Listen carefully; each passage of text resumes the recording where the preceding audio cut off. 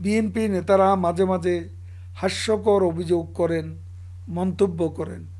আওয়ামী লীগ নাকি দেউলিয়া হয়ে গেছে, এটা তাদের সর্বশেষ অদ্ভুত আবিষ্কার। তাদের কথা এখন জনগণের কাছে বিনোদনের উৎস। যারা নিজেরা দেউলিয়া হয়ে এখন সর্বহারাতে রূপ নিতে যাচ্ছে, তারা অন্যদের নিয়ে কথা বলেন। যে সরকার উন্নয়ন অর্জনে।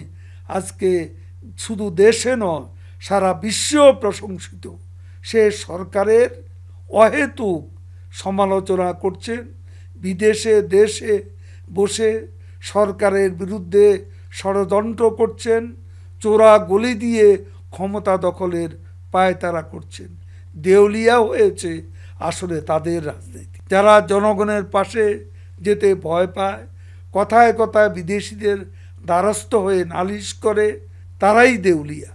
যারা গণতন্ত্রের কথা বললেও নির্বাচনে ভয় পায়, আন্দোলনে ভয় পায়, তারাই তো দেউলিয়া। যে দল বিদেশিদের হস্তক্ষেপ চেয়ে বিবৃতি দেয়, কথায় কথায় বিদেশিদের দ্বারে ধর্ণা দিয়ে দেশের বিরুদ্ধে কথা বলে, তাদের দেউলিয়াত্ব চোখে আঙ্গুল দিয়ে দেখিয়ে দিতে। হয় না